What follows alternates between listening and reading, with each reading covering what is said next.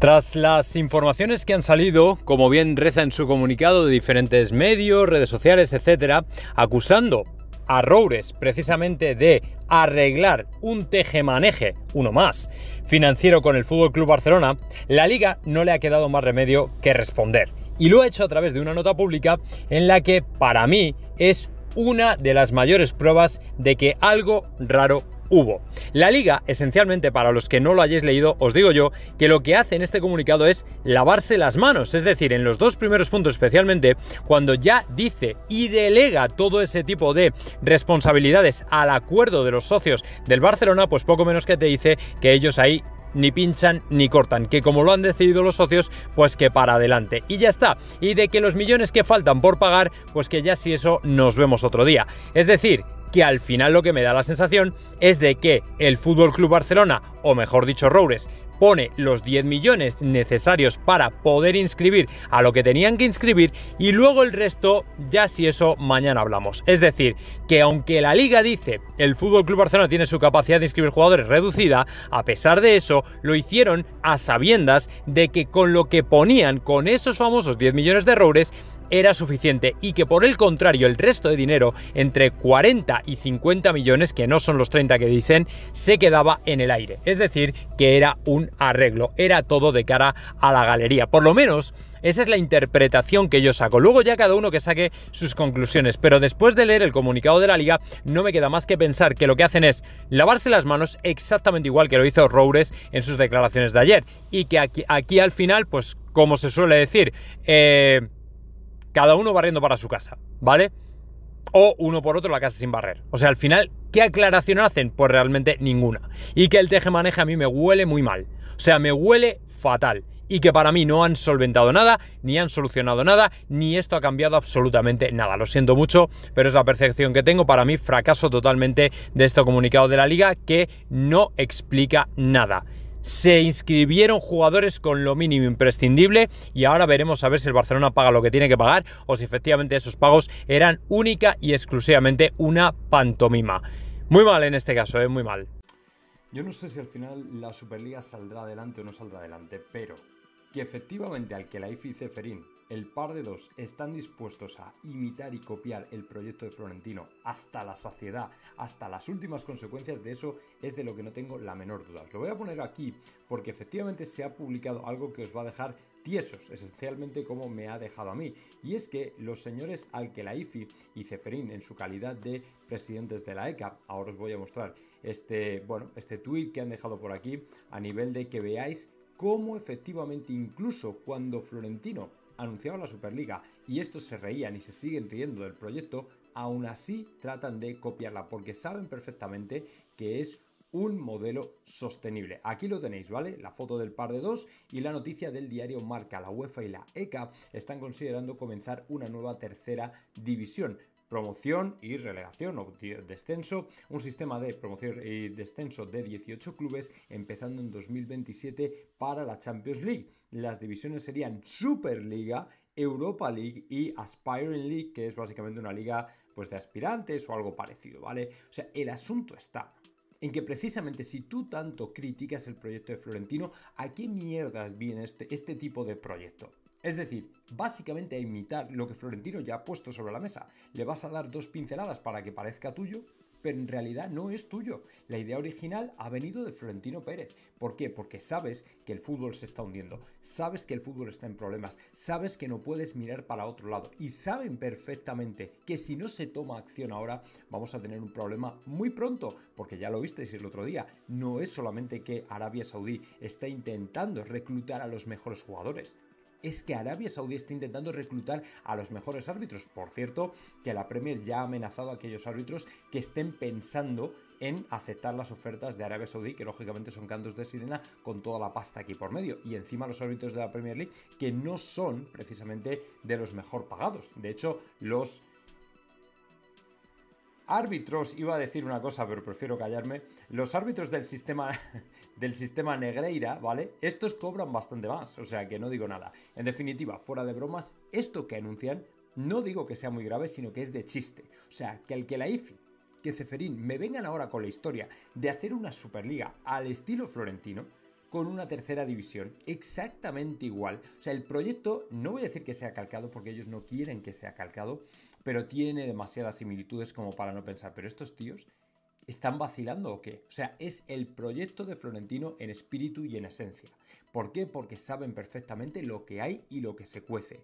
Y que tienen que tomar en definitiva el proyecto de Florentino. Por eso os dije que, aunque la Superliga no saliera, aunque al final el juez no falla en nuestro favor, esto ya ha sido una victoria de Florentino. Porque ha llamado la atención sobre un problema real y al final este par de dos están tomando medidas precisamente para ir en esa dirección. O sea que de alguna manera esa, entre comillas, derrota que quieren vender de Florentino no es para una, una derrota, es de hecho una victoria. Porque ya les hemos puesto a moverse, ya les hemos puesto a trabajar, ya se han dado cuenta, ya ha habido alguien que les ha dado el aviso. ¿Veis por qué?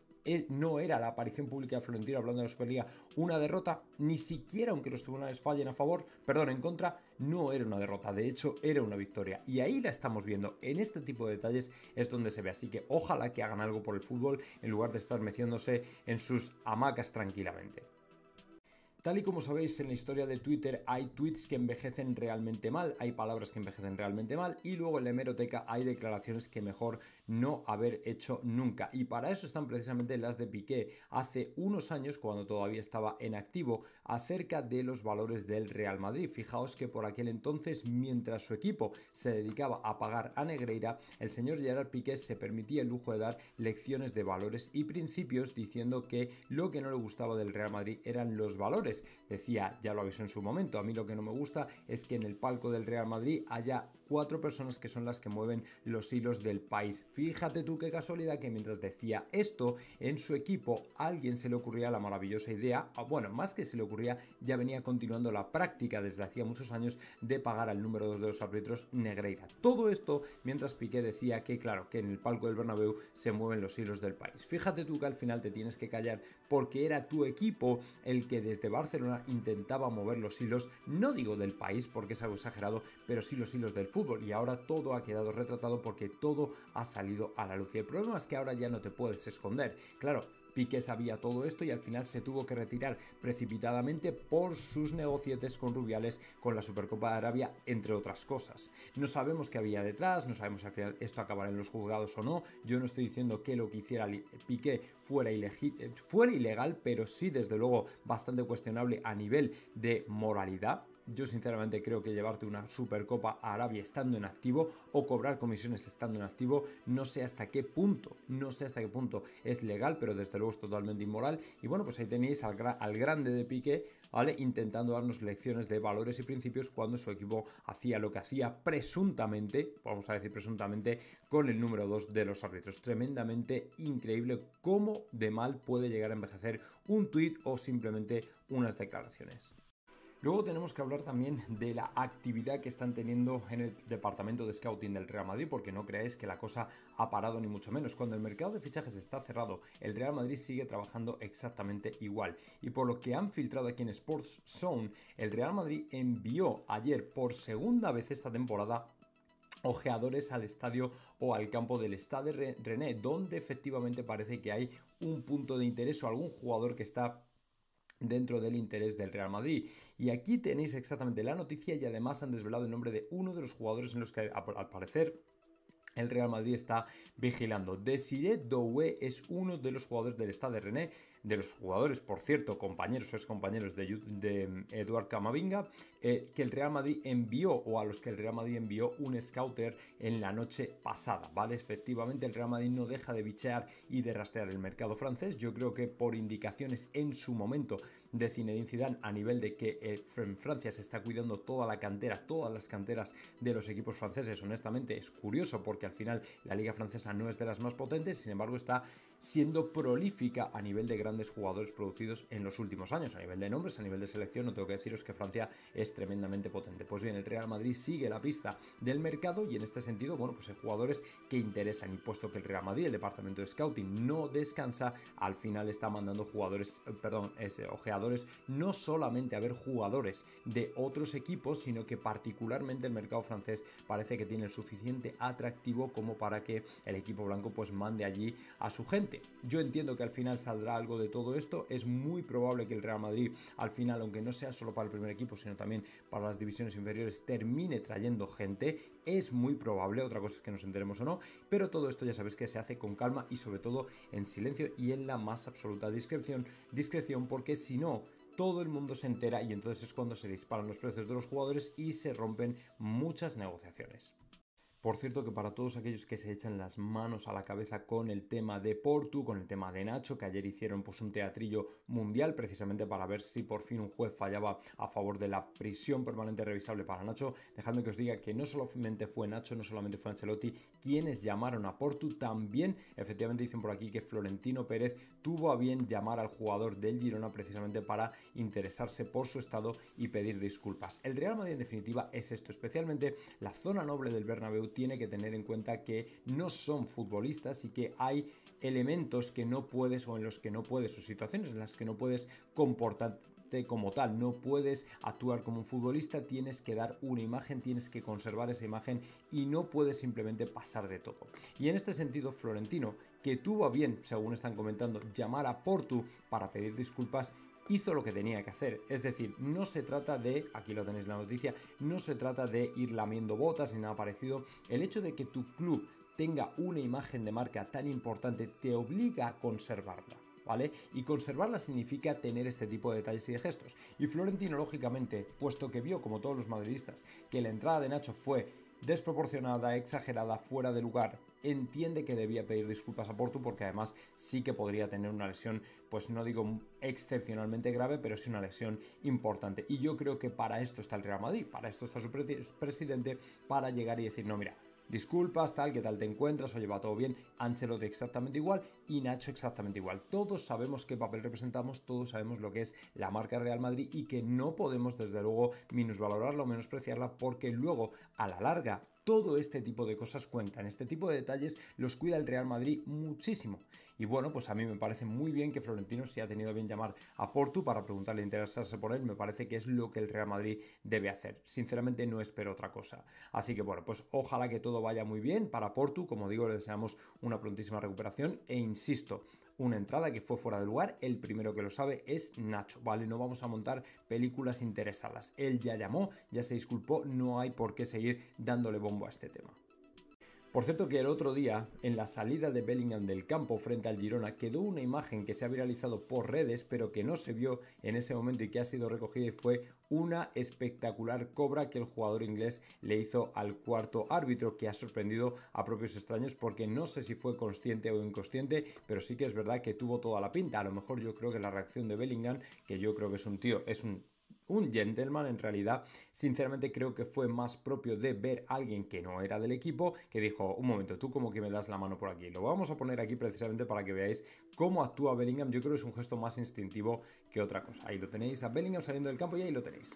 La cobra que le hace al cuarto árbitro precisamente vale lo vamos a poner aquí ahí le veis cómo le mira el árbitro, el cuarto árbitro le extiende la mano y cuando Bellingham se da cuenta de que no es del Real Madrid, automáticamente le mira la cara como diciendo, pero tú, ¿qué me estás contando? Y pasa completamente para irse directamente a Chendo. Yo personalmente creo que es más una acción instintiva que otra cosa. El cuarto árbitro se queda pues con la mano, con la mano en el aire. Bueno, yo creo que es una acción instintiva más que otra cosa. Seguramente el jugador, bueno, en ese momento cuando tú estás con la camiseta del equipo, sabes que solamente no, no hay amigos en el terreno de juego, ¿vale? Simplemente los que llevan la misma camiseta que tú son los únicos amigos. Yo creo que esto no fue tanto como para eh, exagerar. Yo personalmente creo que además, bueno, cuando da el relevo, ahí veis que mira el cuarto árbitro, ¿vale? Y efectivamente pues no le mira la cara y dice no, este no es de los míos, paso directamente.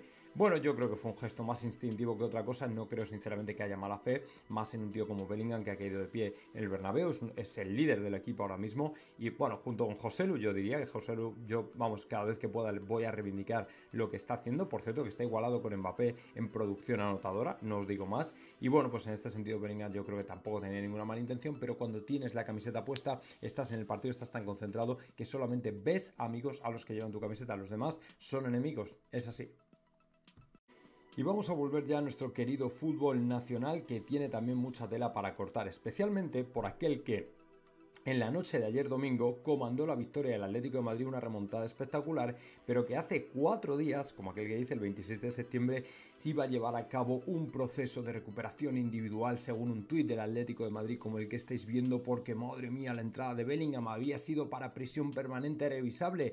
Y fíjate tú que en menos de una semana ha cogido las riendas del Atlético de Madrid y las lo ha llevado hasta la victoria frente al Cádiz por 3 a 2, como digo, en una impetuosa remontada impropia de un jugador que tenía lesión grado 25 de no sé qué historia, del isquio, de tal, que cual, que no sé qué. O sea, ¿alguien se cree realmente toda esta bazofia? ¿Alguien puede pensar que no nos estaban tomando el pelo con este tuit 27 de septiembre? Fijaos qué mal ha envejecido. ¿Vale? O sea, os lo leo si queréis, por si acaso no lo estáis leyendo. ¿Vale? Ángel Correa sufre un esguince grado 1 del ligamento colateral medial de la rodilla. Nuestro delantero realizará trabajo individualizado en la sesión de este martes y queda pendiente de evolución. No sabemos si podrá estar pero vaya si ha estado, sino que además no solo ha estado, sino que se ha echado el equipo a las espaldas y lo ha comandado hasta la remontada que finalizó ayer o con la que finalizó el Atlético de Madrid 3 Cádiz 2. Entonces, ¿qué me estáis contando? ¿Qué me estáis contando? El propio Correa tuvo que explicarlo porque claro, nadie se lo cree. Yo iba a decir, hombre, pues ya que se ha recuperado tan pronto, que le pase la receta a Portu y ya veréis como en 7 días está recuperado o incluso menos. Esto me recuerda al milagro de Lázaro. Levántate y camina. Ahí lo tenéis. 3-2, dos goles, o sea, y esa era la entrada espectacular de Bellingham que lo iba a mandar poco menos que un asilo. Venga, hombre, por favor, este tipo de exageraciones no valen. Y el tuit de Atlético de Madrid, pues lógicamente ha quedado retratado porque independientemente de que fuera o no fuera verdad, lo cierto es que resulta por lo menos sospechoso que el jugador finalmente se haya recuperado hasta el punto de ponerse ahí al frente del equipo y comandar, como digo, una grandísima remontada del Atlético de Madrid 3-2. O sea, un poquito exagerado y sospechoso.